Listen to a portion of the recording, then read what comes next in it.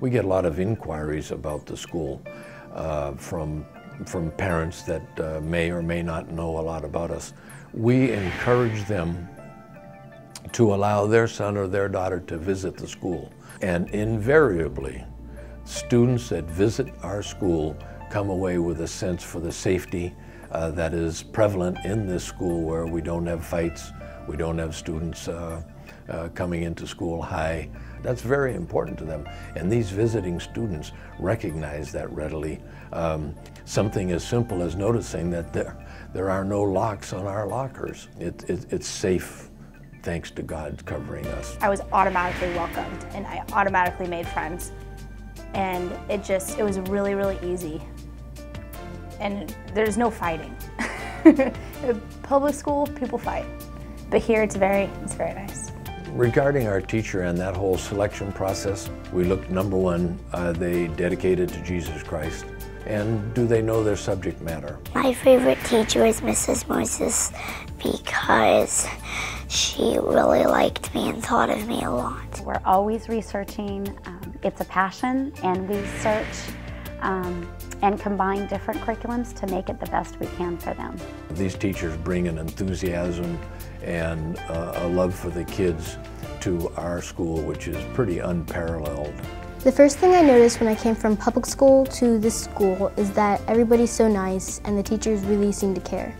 The academic experience that I've had here is like excellent. The teachers, they really know what they're doing and since there's not as many kids here as there are at public schools, they can get to us more. It is a Christian environment that enhances everybody's self-being and does not coddle. It, it, it really brings out who you are. I really enjoyed the teachers, just like Mr. Van Martyr. Uh, he taught us a lot, he knew when to be serious, but he also loved to make jokes and interact. I do feel that from working at CCA that the kids come over to Northwest Christian High School very ready. Um, we challenge them and push them and um, academically, I believe, get them ready for Northwest Christian High School. It's just neat to be a part of their lives and to get to know them all the way from kindergarten and see them grow through their years at CCA. We do a lot of math, which I like, and a lot of like science and stuff. It is imperative that we apply scripture to life.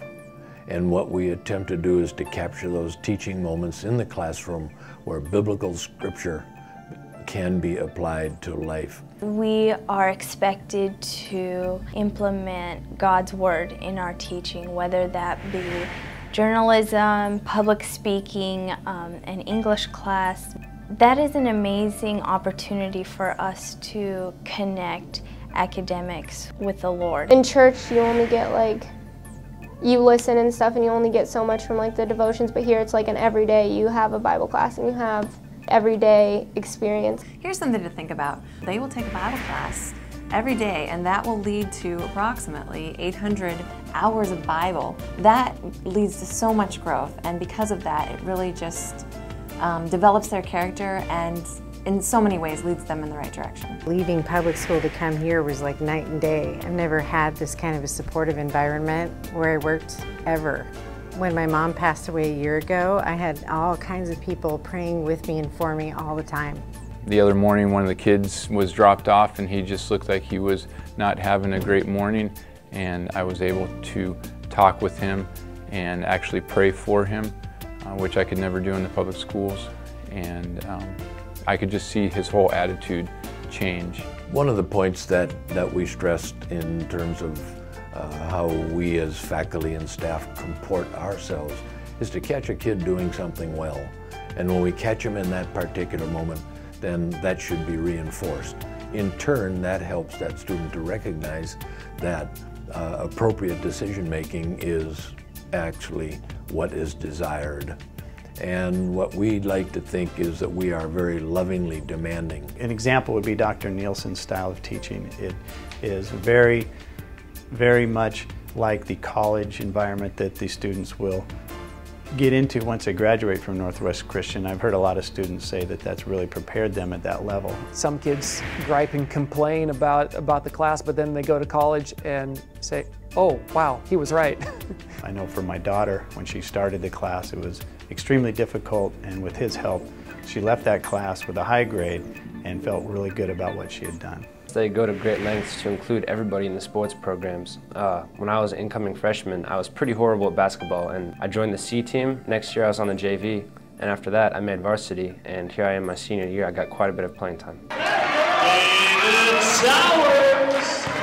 Probably my favorite thing about basketball is the van rides and bus rides uh, to and from the games. We do some of the craziest stuff there, and it's really just a great time to build friendships and hang out.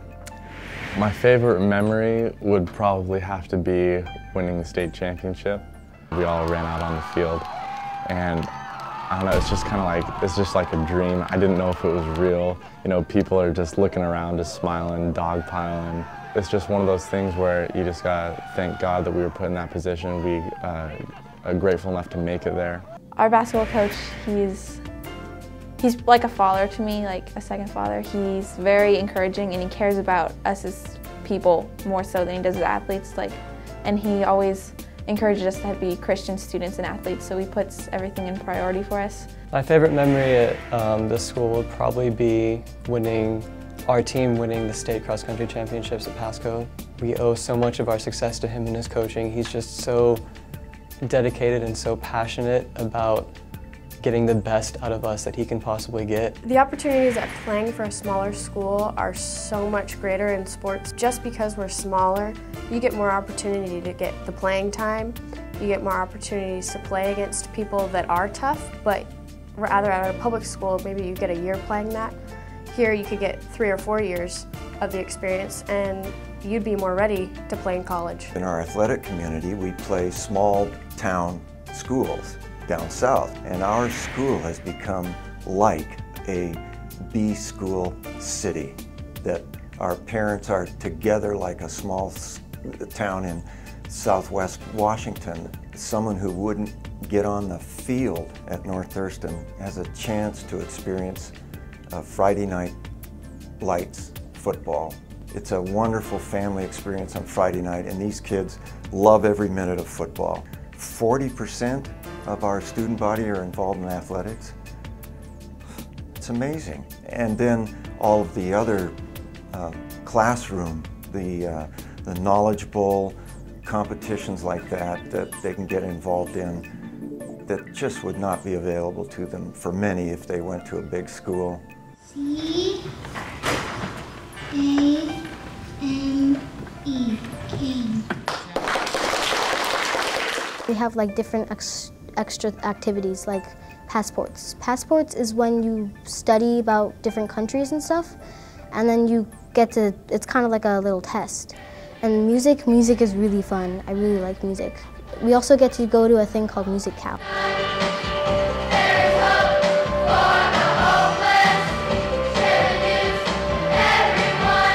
I get to see the growth of these children. Um, they grow in so many different ways. It's not just height and it's not just ability, but their brain gets to grow in so many ways, whether it's academics or problem solving or finding the gifts that they have and talents. They amaze themselves and they amaze me as well.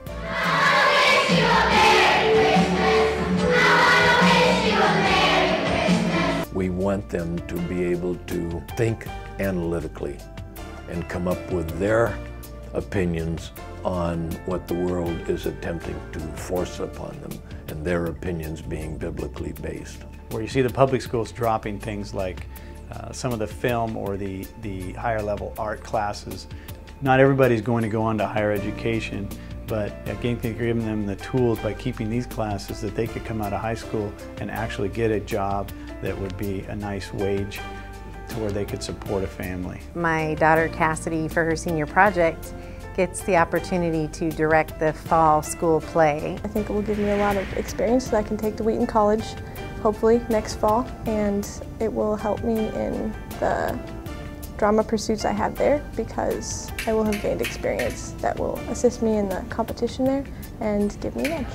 Mr. Hamilton is a really talented instructor. There's so much we can learn from him. I mean, he sang at the Vatican, and there's so many other things. I think he could play just about any instrument he picked up. One of my favorite memories was getting into the All-State Choir, especially my freshman year, because I, I didn't think I was going to. Jingle bells, jingle bells, jingle I was in my dance class and I got a call from my choir teacher. And I couldn't believe it. Like, I don't know. I was just shocked. So every Wednesday we have chapel and I really like it because it's the time in the middle of the day where you can set school aside and just focus your mind on God and thank Him for what He's given you and just spend time worshiping Him. On the days where everyone is just united in worship and praise and singing, you can tell because there's just an energy that's moves about the room and everyone, it just feels like everyone is united by the same Holy Spirit, same God. Uh, approximately 94.5% of our students go on to college and or university.